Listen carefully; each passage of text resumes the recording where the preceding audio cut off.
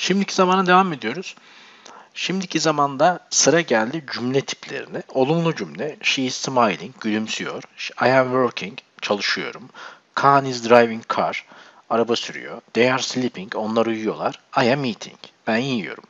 Gördüğünüz gibi am, is, arı koyup ing'yi yapıştırıyoruz. Bu kadar basit.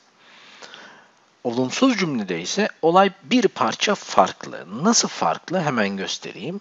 She is araya not geliyor. I am not geliyor. Ama aslında böyle yazılmaz. I am kesilir ve not yazılır.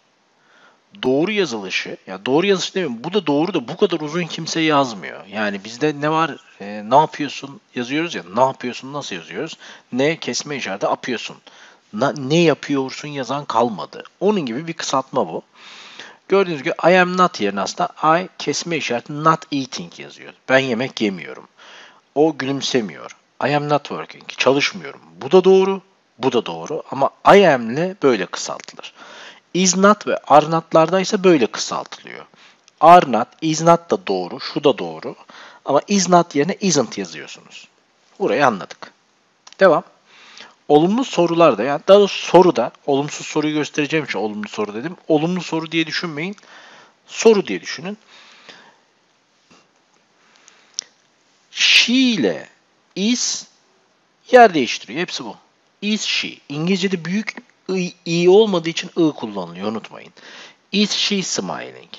I am working yerine am I working? Çalışıyor muyum? Arabayı Kaan mı kullanıyor? Is Kaan driving car? Açtınız telefonda. Kaan arabayı kullanan kişi mi merak ediyorsunuz. Arabayı Kaan mı kullanıyor? Uyuyorlar mı? Are they sleeping? Am I eating? Gördüğünüz gibi bunlar da olumlu soru.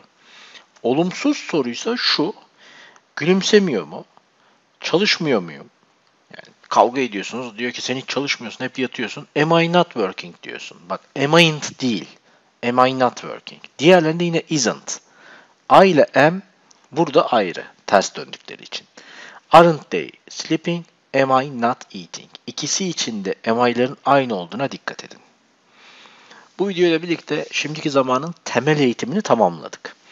Bir sonraki video kuralları anlatıyor şimdiki zamanda ama ileri seviye, bir tık ileri seviye. Yani bir sonraki video opsiyonel izlemeyip geçebilirsiniz.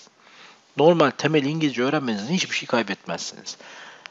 İzleyeyim derseniz bir şeyler kazanacaksınız. Evet ama bir parça sıkıcı gelebilir. Onu söyleyeyim. İleride de dönüp izleyebilirsiniz. Bütün İngilizce bende oturdu dedikten sonra. Dolayısıyla izleyip izlememek size kalmış. İzlemezseniz kaybınız yok. İzlerseniz kazancınız var. Temel olarak şimdiki zaman bu. Şu an yaptığım şeyleri anlatmak için.